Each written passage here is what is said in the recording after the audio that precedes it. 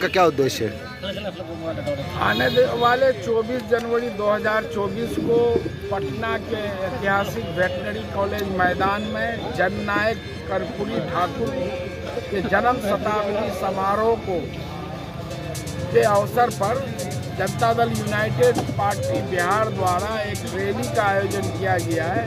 जिसमें मुख्य मांगे हैं कि हमारे जननायक कर्पूरी ठाकुर को आज तक भारत रत्न क्यों नहीं दिया गया? इन्होंने हमेशा दबे पिछड़े पिछड़े अति पिछड़े दलित महादीनों के उत्थान के लिए काम किया। दूसरा है कि जाति आधारित गन्ना जो अभी बिहार में हुआ जी। आज पूरे देश में जो है, जाति आधारित गन्ना कराने की मांग उठ रही है। कितनी जाति की कितनी आबादी है, नौकरियों में कितनी भागीदारी है, उसकी क्या आर्थिक स्थिति है। बिहार में जो पिछले दिनों जाति आधारित गन्ना हुआ, उसके तहत बिहार में चौरानबे लाख ऐसे परिवार चिन्हित किए गए, जिनकी आमदनी छः हज़ार रुपये मासिक से कम है। ऐसे परिवारों के लिए बिहार के मुख्यमंत्री नीतीश कुमार, बिहार सरकार ने आने वाले पाँच सालों में उनकी आमदनी बढ़ाने के लिए दो दो लाख रुपये उनके खाते में ट्रांसफ़र करने का काम किया है। और जो है लोगों को प्रधानमंत्री आवास योजना तो पिछले तीन साल से मिल नहीं रहा है।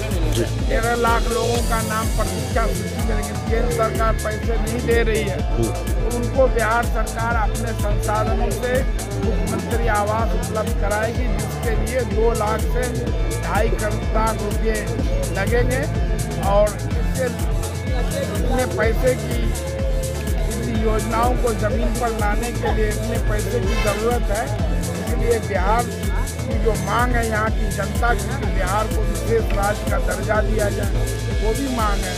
तीसरा है कि केंद्र सरकार ने पिछले दिनों पिछड़ी और अति पिछड़ी जाति के छात्रवृत्तियों को रोकने का काम किया है उसको फिर से चालू किए। करने और फिर जो है, यही तीन मुख्य मांगे हैं।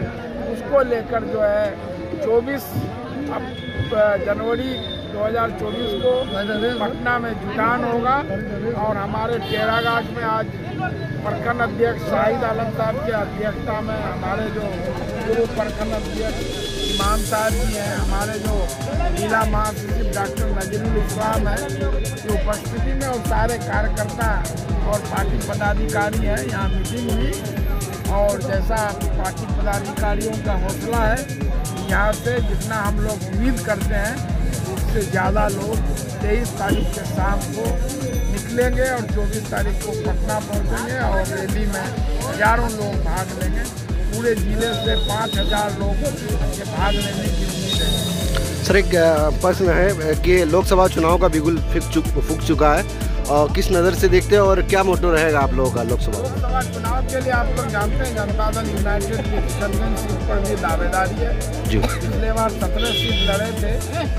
सोलह जीते किशनगंज में दूसरे नंबर तब से पार्टी आप जानते हैं हर पंचायत स्तर से लेके बूथ स्तर से लेके प्रखंड स्तर से लेके जिला स्तर काफ़ी मज़बूत हुई है तो हम लोगों की पूरी मज़बूत दावेदारी और आप देखते हैं हमारे शीर्ष नेतृत्व ने किशनगंज सीट पर भी दावा ठोका है कि इन सत्रह सीटों पर पार्टी कोई कंप्रोमाइज नहीं करेगी और हमारे यहाँ पार्टी का अगर यहाँ से सांसद होगा, मैं समझता हूँ कि जो मेरागाज प्रखंड के आधे अधूरे काम है, वो सब जो है पूरा होगा और जो है टेरागाछ प्रखंड आने वाले दिनों में ज़िले का एक जो है बहुत ही विकसित प्रखंड होगा। Thank you